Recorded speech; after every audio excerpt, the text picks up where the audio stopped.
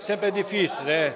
Mas infelizmente quando vai se encerrando o ano, e principalmente nesse ano que de 2019, a qual em 2020 teremos eleição para prefeito e vereadores, e o governo então ele é obrigado a encaminhar os projetos que de certa forma dá alguma vantagem a algum servidor no ano anterior. E o governo acaba encaminhando a esta casa vários várias reformas administrativas, né? E, em várias categorias, desde de, de, a, pessoal de serviços gerais até uh, o administrativo como um todo.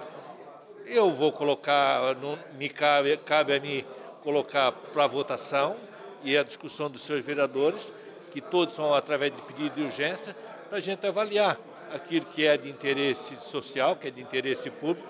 Né? Tenho certeza que os vereadores vão conseguir votar a favor ou contra, mas que nós temos que fazer essa apreciação. Eu tenho uma que me preocupa um pouquinho ali, que foi a questão da guarda municipal armada, mas o governo explicou muito bem aos seus vereadores, né? até porque, porque está sendo uma luz, porque a guarda armada acabou de ser criada e ela já ganha uma, uma, um reajuste dentro do seu próprio salário de aproximadamente 500 reais, agora não me falha, mas isso, mas isso também é uma questão técnica, é, foi uma questão de entre a data do lançamento do edital e a chamada deles. Então, não teve essa, esse reajuste, não teve essa correção. Né? E eles explicaram, os senhores vereadores entenderam. Então, dessa forma, sim, vai para a votação.